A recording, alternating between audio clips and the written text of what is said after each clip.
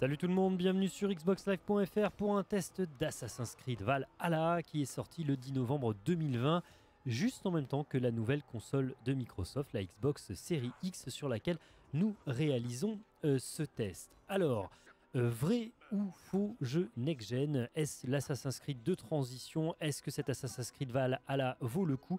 C'est la question à laquelle nous allons essayer de répondre en une quinzaine de minutes en commençant par vous parler de l'histoire. L'histoire d'Evor, Evor qui est au choix eh bien, un homme ou une femme, d'ailleurs euh, qui est euh, assez androgyne dès le début du jeu lorsqu'il est euh, enfant, vous pouvez le voir ici. Et, vous pourrez d'ailleurs même laisser le choix à l'animus de décider pour vous en fonction de la situation si vous voulez être un homme ou une femme ou switcher entre les deux automatiquement. Alors Evor, il a une histoire familiale un peu compliquée qui va le pousser eh bien, à fuir la Norvège et, qui va l'embarquer en Angleterre. Angleterre dans laquelle eh bien, il va se décider de se lancer dans des rêves de conquête et croiser une galerie de personnages comme par exemple Broder ou le euh, futur roi Oswald juste à côté.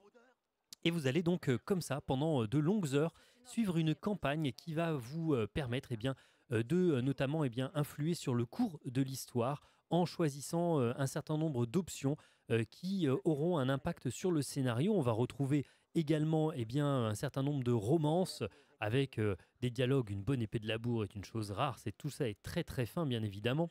Euh, des dialogues très ciselés, euh, une version française qui est largement perfectible et franchement manque de conviction. Mais en tout cas, il ne faut pas s'arrêter à ça parce que l'histoire de cet Assassin's Creed Valhalla est franchement une histoire à la fois de famille dans laquelle vous allez croiser notamment des personnages célèbres comme les fils de Ragnar Lodbrok pour ceux qui ont vu la, série du même nom, Viking, et que vous allez construire votre propre renommée à travers des moments parfois épiques, parfois émouvants.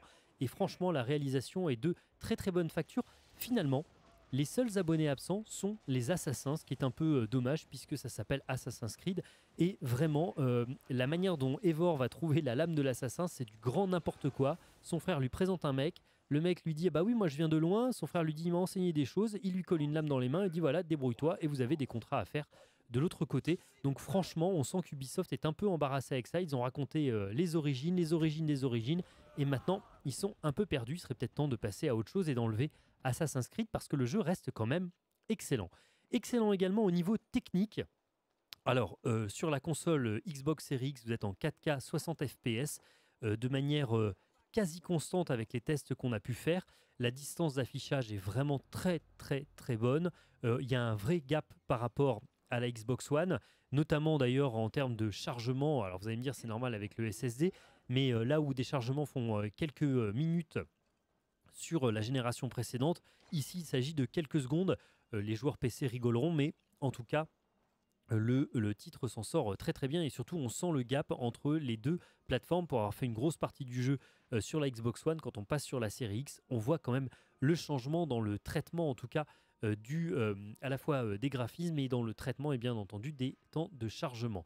Au niveau des graphismes, on retrouve toujours ce qui fait la marque de fabrique des Assassin's Creed, c'est-à-dire tantôt des choses magnifiques, des paysages sublimes avec des éclairages qui en mettent plein les yeux, surtout quand le HDR est activé, et des gros gros bugs comme celui-ci, avec des bugs de collision dans tous les sens, parfois des textures qui mettent du temps à s'afficher malgré le SSD ou euh, des, euh, on va dire, des distances d'affichage euh, qui seraient largement perfectibles. Bon, c'est, on va dire, j'allais dire, l'apanage de tous les mondes ouverts où bah, on se retrouve parfois eh bien, avec des limitations techniques qui font qu'on ne peut pas être bon partout. Il n'en reste pas moins que le titre est quand même très très bien fait, mais il serait temps quand même qu'Ubisoft revoie notamment la gestion eh bien, des modèles et des visages et des personnages lorsqu'on est dans les cinématiques ça fait un peu vieillot, surtout quand on compare à des jeux comme The Last of Us 2. Euh, je sais qu'on n'est pas sur la même plateforme, mais quand même, on a euh, maintenant en fait euh, des techniques qui sont quand même bien meilleures et qu'Ubisoft pourrait quand même eh bien, mettre plus en avant, parce que je suis sûr qu'ils en sont largement capables. Après, à voir quelles concessions ça ferait sur la suite. Et d'ailleurs, des concessions, il y en a eu, puisque la carte est quand même nettement plus petite que dans les précédents jeux, ce qui ne me dérange moi absolument pas, puisque je vous avoue que dans Odyssey, j'en avais marre de me taper de l'eau et, euh, et du, euh, on va dire du, du voyage en, navire, juste pour aller voir quelques bouts d'île. Donc au final, je préfère quelque chose de moins grand, mais de plus fourni, que quelque chose de très grand et de peu fourni. Alors, Première grosse nouveauté, la gestion du camp. La gestion du camp, c'est la vraie bonne idée euh, du jeu. Vous pouvez le voir ici, on survole en fait euh, ce camp avec euh, le corbeau. Alors spoiler alerte, hein, le corbeau c'est ce qui va remplacer l'aigle dans le jeu. Donc le camp de Ravenshope, qui est en fait l'endroit où Eivor va bâtir sa colonie. une colonie qui est un hameau au départ et qui va se transformer en ville au fur et à mesure de votre avancée et au fur et à mesure du développement que vous allez en faire. Le jeu va d'ailleurs vous forcer à certains moments à upgrader, en fait, à passer au niveau d'après euh, pour pouvoir eh bien, euh, continuer l'aventure et débloquer de nouvelles quêtes, comme notamment la hutte, la hutte de Valka, euh, qui vous ouvrira les portes d'un autre univers sur lequel je ne dirai rien, mais qui vous réserve bien des surprises. Alors là, vous voyez, c'est l'une des options que vous avez dans votre camp. Je suis en train de personnaliser mon équipage, l'équipage qui va vous accompagner dans les pillages dont nous allons parler dans quelques secondes et qui sont également un passage obligatoire euh, pour pouvoir eh bien, poursuivre l'aventure. Donc là, vous avez des lieutenants en fait euh, dont vous pouvez euh, personnaliser l'apparence, les armes et la manière de combattre en fonction des armes que vous allez équiper. Le camp est également extrêmement important puisque vous allez dès le départ devoir construire une hutte du forgeron. On va y aller, on va s'y diriger. Cette hutte du forgeron, elle est essentielle parce qu'elle va vous permettre d'améliorer vos différents items. On reviendra, hein, on parlera plus en détail des différentes possibilités offertes par l'équipement. Mais ici, eh bien, on peut voir en fait que euh, grâce eh bien, aux matériaux que j'ai collectés qui sont sur la gauche, je vais pouvoir en fait non pas simplement améliorer les, stats en fait des armes, mais carrément accroître leur qualité et donc par là même leur performance. Et ça, c'est vraiment sympa parce que finalement, en fait, on est obligé de revenir dans le camp, on est obligé d'aller euh, farmer un certain nombre de matières premières et donc de euh, se concentrer sur la recherche de trésors qu'on voit sur la carte pour pouvoir eh bien, derrière accroître la qualité de son équipement et mieux s'en sortir. On augmente sa puissance et on s'en sort mieux euh, dans les combats euh, face aux différents ennemis. La hutte, en fait, sert également, enfin pardon, la hutte, le camp sert également à tout un tas de choses que vous pouvez voir. Vous pouvez améliorer vos chevaux. D'ailleurs, ne négligez pas en fait cet aspect des choses puisque le, le, cheval est une composante importante. Voyez ici la hutte de l'assassin. On fait un petit coucou rapide par la hutte de l'assassin en fait dans laquelle vous pouvez prendre des contrats et c'est tout. Voilà, vous avez des membres de l'ordre à dénicher. Euh, vous avez également euh, des zélotes qui remplacent les mercenaires. La hutte de Valka là-bas dont je parlais tout à l'heure qui est très importante. Euh, bref, la composante assassin, vous avez compris que c'est franchement histoire de donner ça, de donner le titre, de, de, dire que ça s'inscrit dans une saga, mais que c'est pas forcément important. Là, vous voyez, là, je vais améliorer un bâtiment, donc qui est peut-être pas le bâtiment le plus intéressant à euh, améliorer euh, dans le jeu, mais ça va me permettre de vous montrer que je vais passer en fait mon camp au niveau 4 et en passant mon camp au niveau 4, je vais débloquer tout un tas d'items supplémentaires et tout un tas en fait de possibilités de construction euh, supplémentaires et qu'il va falloir que j'active pour eh bien aller augmenter la renommée de mon village. Je m'ouvre de nouvelles opportunités avec de nouveaux bâtiments à construire. À la fin, franchement, quand vous êtes au niveau 6, il y a énormément de choses à faire, d'autant plus que euh, votre camp agrandi vous donne euh, l'accès à de nouvelles quêtes et de nouveaux événements d'environnement. Et puis parce que on est les vikings et que chez nous, eh bien, la distanciation sociale, ça n'existe pas, il n'y a pas de virus, eh bien, on peut également faire bamboche, comme on dit maintenant, dans le camp et commencer des festins qui vont vous donner en fait des bonus de santé et des bonus de morale, puisque c'est bien connu, quand on picole et qu'on fait la fête entre copains, on est toujours bien plus souriant et bien plus énergique le lendemain. Vous voyez, ça vous donne des boosts de morale. Alors pour faire tout ça, eh bien, il suffit pas simplement d'avancer dans le jeu, et il suffit surtout pas simplement de ramasser des matières premières que vous allez trouver sur la carte. Ces matières premières, elles sont réservées à euh, l'amélioration en fait des statistiques propres de vos équipements. Non, il va falloir en fait mener des raids et des pillages. Et ça, on l'attendait au tournant parce que qui euh, connaît l'histoire des Vikings, qui a vu toutes les saisons de la série Viking, attend avec impatience de pouvoir mettre à sac des monastères, des abbayes et des villes anglaises sur lesquelles eh on va euh, passer euh, le plus clair de son temps eh en euh, allant au fil des pérégrinations de notre dracar sur la carte eh bien, naviguer. autant vous le dire, c'est la fausse bonne idée du titre puisque ces pillages, un, sont imposés si vous voulez eh et deux, sont extrêmement peu dynamiques et ont peu de conséquences. On en parlait avec Snake en préparant ce test. Euh, vous vous retrouvez en fait euh, à euh, piller un monastère ou à piller une ville, et puis vous revenez en fait quelques temps après, bah, c'est vide, en fait il se passe rien, les gens que vous croisez, bah, ils font comme si vous avez jamais vu. Je pense que quand on a survécu une attaque de vikings, on s'en souvient quand même, puis surtout on évite de traîner au même endroit. toujours est-il que bon bah voilà, ça n'apporte pas grand chose au jeu et franchement bah c'était largement dispensable si ce n'est encore une fois pour aller trouver des matières premières. Alors comment ça se passe? Vous êtes sur votre dracar, vous approchez d'une zone où il y a un pillage qui est possible, vous appuyez sur Y, vous lancez l'attaque avec votre équipage. Ou vous êtes sur la carte, vous vous promenez tranquillement et euh, vous sortez votre corne de brume, vous soufflez un coup dedans et là vos, euh, bah, coéquipiers euh, arrivent comme par magie. Alors attention, ils arrivent comme par magie, le jeu laisse quand même un petit gap, un petit laps de temps avant qu'ils arrivent. Euh, pour euh, histoire de dire bah oui ils ont pris le bateau, ils vous ont rejoint parce que quand même ils entendent la corne de brume vachement loin euh, du camp ou en tout cas de l'autre endroit où vous aviez laissé votre bateau avant de vous téléporter sur les points de synchronisation qui demandent encore une fois à se synchroniser et à sauter dans la paille. Il serait temps de changer aussi cette formule que l'on trouve d'ailleurs dans quasiment tous les jeux de la firme Ubisoft.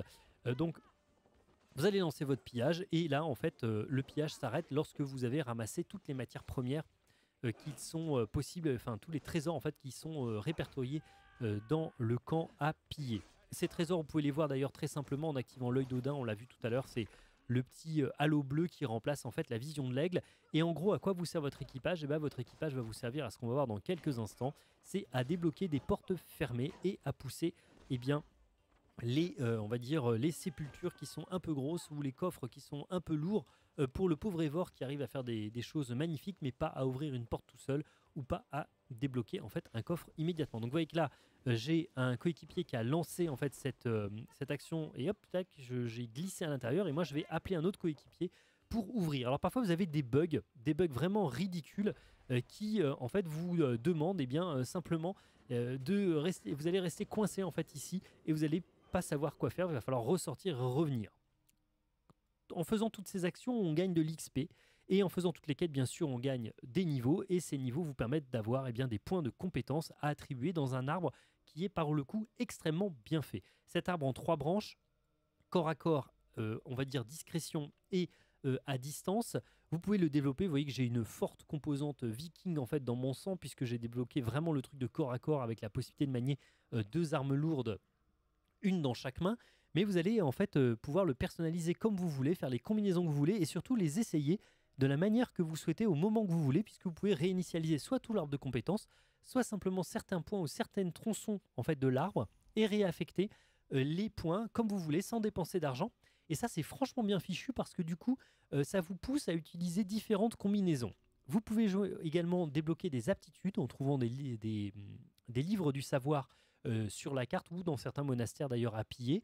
Et euh, ces aptitudes à distance, comme au corps à corps, on avait déjà ça dans Odyssey et dans Origins, euh, s'utilisent avec de euh, la stamina, en fait, avec du, du, de l'adrénaline que vous allez récupérer en tapant ou en vous faisant taper ou en consommant des champignons. Tout ça, bien sûr, est servi par une personnalisation de votre, de, votre personnage qui est plus poussé que dans les épisodes précédents, avec moins de loot à s'occuper. On n'est pas à ramasser des crottes tout le long de, des combats euh, sur les adversaires qu'on va devoir recycler. Là, non, on se concentre sur quelques armures, sur quelques armes, même si elles sont assez nombreuses. Et en fait, le but est d'aller les pousser au maximum. Alors, déjà en les améliorant grâce aux matières premières que vous allez récupérer sur la carte, mais également en leur faisant faire un gap de qualité auprès du forgeron qu'on a vu tout à l'heure. Ce qui est sympa, c'est que vous allez pouvoir utiliser tout un tas de combinaisons, je vous l'ai dit, en fonction de l'arbre de compétences que vous allez euh, développer. Euh, une arme lourde dans chaque main, par exemple, euh, se concentrer sur une grosse épée, équiper un bouclier léger, un bouclier lourd si vous voulez vous battre qu'avec des boucliers, utiliser une hache dans chaque main, ce qui est ma combinaison préférée que je vais vous montrer dans quelques instants.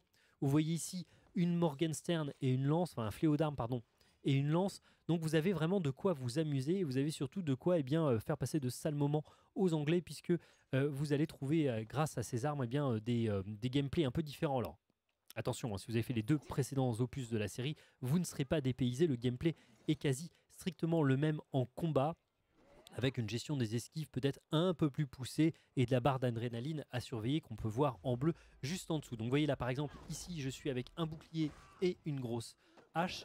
Ce qui va me permettre, eh bien, euh, vous voyez, une fois que j'ai vidé l'adrénaline euh, de, l'ennemi, de euh, l'achever, je vais changer pour ma combinaison préférée qui est la double hache. J'avoue que c'est celle, je trouve, qui fait la plus viking et qui est la plus sympa véritablement à, tester parce que on est vraiment dans un combat très brutal et très corps à corps. Et tout ça pour vous dire qu'en fait, on n'a pas envie du- d'être un assassin hyper discret. Il n'y a que de rares moments dans le jeu où on vous fait de l'infiltration à l'ancienne, où vous devez aller vous fondre parmi la foule, euh, marcher parmi les gardes. Mais là encore, même si vous le faites pas, les gardes vous attaquent. C'est pas grave, vous les défoncez ou vous vous planquez. Et l'IA, de toute manière, euh, est, est tellement perfectible que vous allez pouvoir euh, lui échapper de manière très simple. Mais le combo double H, c'est franchement ce qu'il y a de plus sympa. Et vous voyez ici, là par exemple, on est face à un ennemi spécial. Cet ennemi, soit je peux lui vider sa barre de vie, soit je vais contrer lorsque euh, les attaques sont en jaune. Quand c'est en rouge, vous ne pouvez pas, mais quand c'est en jaune, je peux. Lui vider sa barre d'adrénaline ou avec l'arc, tirer dans les points faibles pour lui casser en fait euh, cette, euh, cette adrénaline et le faire un petit finish des familles, toujours très gore. Alors, en conclusion, que vaut cet Assassin's Creed Valhalla? Eh bien déjà, je pense qu'il aurait tout gagné à ne pas s'appeler Assassin's Creed et à ce que simplement Ubisoft nous dise voilà, on a développé un jeu dans l'univers viking. Là, ils galèrent en fait pour raccrocher ça à l'univers Assassin's Creed. À côté de ça, il y a plein de choses qu'on a aimé dans ce jeu. Et notamment, qu'est-ce qu'on a aimé? L'histoire, la réalisation, les combats. L'histoire, elle est vraiment prenante. L'histoire d'Evor, euh, c'est un drame familial avec euh, après derrière une reconstruction autour de la conquête euh, des Vikings en Angleterre. La réalisation, les petits bugs exceptés qu'on a vus et qu'on va encore voir, franchement, elle est vraiment très très bien faite. Ubisoft maîtrise son sujet. Et enfin, les combats sont extrêmement dynamiques, très brutaux. On est vraiment dans ce qui fait la force des Vikings. Qu'est-ce qu'on n'a pas aimé par contre? L'IA, toujours aux fraises. Ça, euh, je crois que Ubisoft aura toujours du mal à nous sortir un jeu avec une IA finie. Il y a des bugs à foison, on en a encore vu là, des bugs de collision, des bugs de caméra, des bugs liés à l'IA qui ne se déclenchent pas ou qui déclenchent des scripts au mauvais moment. Donc c'est vraiment vraiment euh, gênant en fait de voir ça. Et puis finalement, bah, je l'ai dit et je l'ai re-redit, c'est un assassin sans creed puisque le credo de l'assassin passé complètement à l'as. Et au final, je vais vous dire, on s'en fiche complètement quand on joue au jeu. Et limite, quand je suis revenu dans le présent avec Leila, bah, j'avais juste une hâte, c'était de terminer pour pouvoir revenir avec Evor dans son monde. Le verdict pour nous, face à tout ça, c'est un 7 sur 10 parce que le jeu est un jeu de transition et on a hâte de voir ce qui va se passer par la suite. Est-ce que Ubisoft va abandonner ou pas la licence Assassin's Creed pour développer des jeux historiques en monde ouvert? On n'en sait rien. En tout cas, on espère que vous avez aimé ce test. On vous invite à le commenter et on se retrouve très vite sur Xbox Live pour un nouveau test. Bye bye